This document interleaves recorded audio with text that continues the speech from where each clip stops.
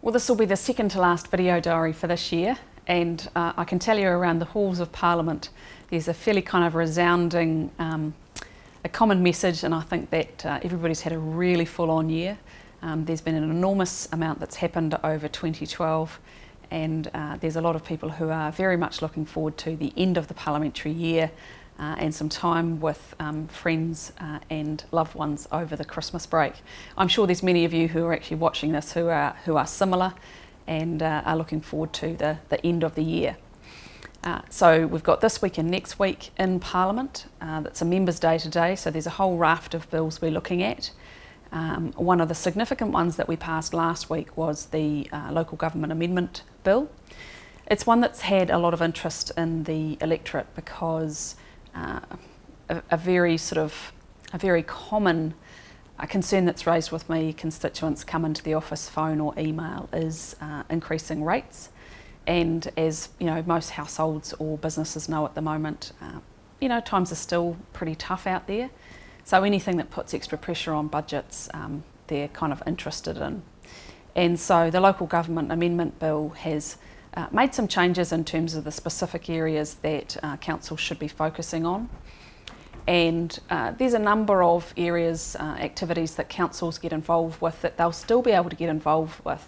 Um, but, you know, my view of the legislation is that we'll um, give you as a ratepayer a bit more um, ability to be able to work with your council and your elected representatives to say, you know, actually, um, that's a nice to have rather than an essential. And at the moment, um, we don't think that it's the sort of thing that we are happy to have money spent on.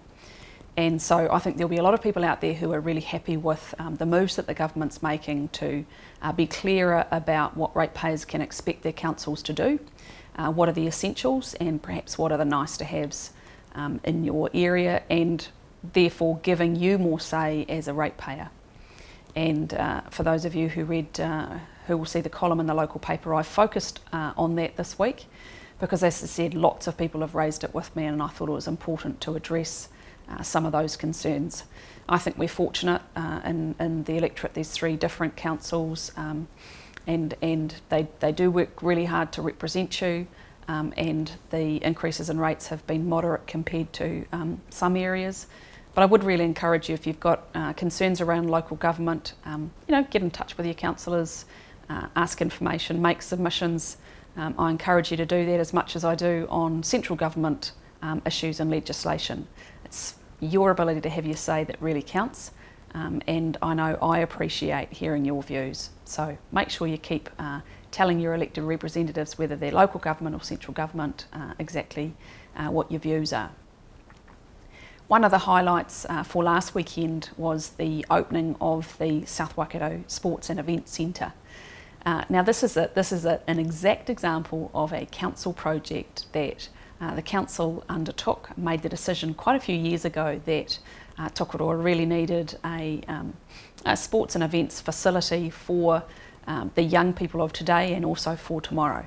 So it's always a big decision when a big facility like that is committed to by a council uh, and there's generally some criticism at the time.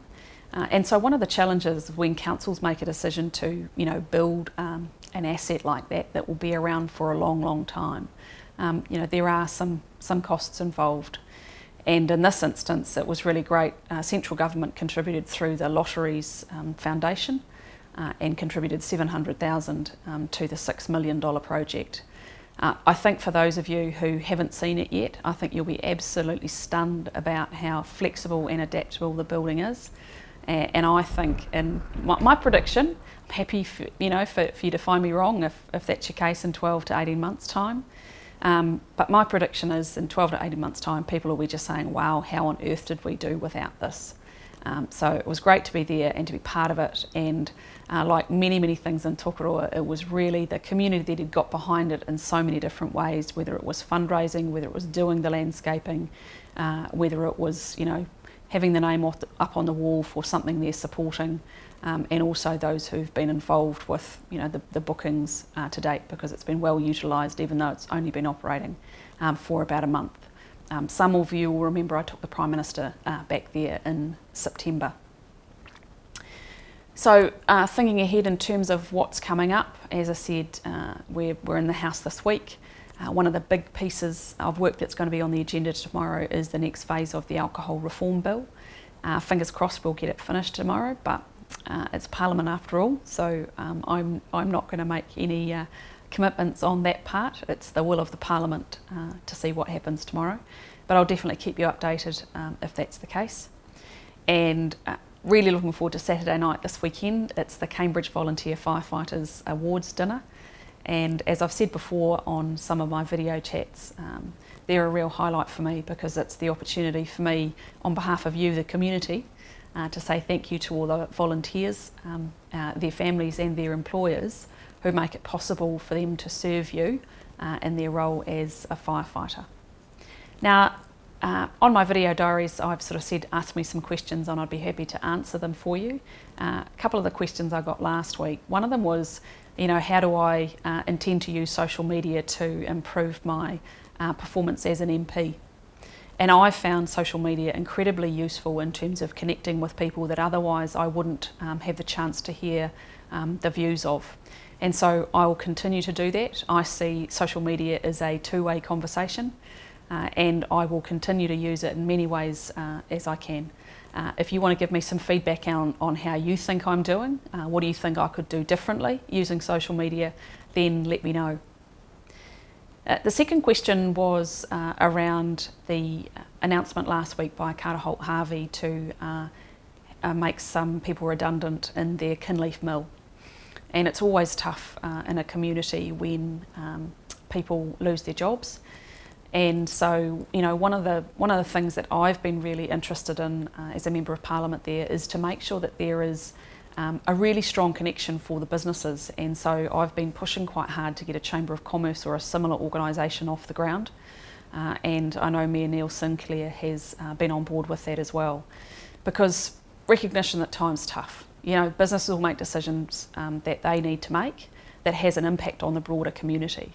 And I think one of the things we do need to do is make sure that the businesses are able to support one another, um, seek advice from one another, and you know make some decisions uh, collectively in terms of what some of the solutions are. At a, at a macro level, um, the government's uh, pure and simple focus is on the economy, um, and I'm very clear that it's not the government that employs people. Uh, the government creates the economic environment where businesses have the confidence to take on staff. And so that's what I'll continue to do um, in Tokoroa and in other areas of the electorate. If you've got a specific idea about what you'd like to um, see me uh, assist with, then I'm all ears. So I look forward to whatever questions you want to throw at me for next week, um, which is probably the last video diary for the year. So I'll catch up with you then.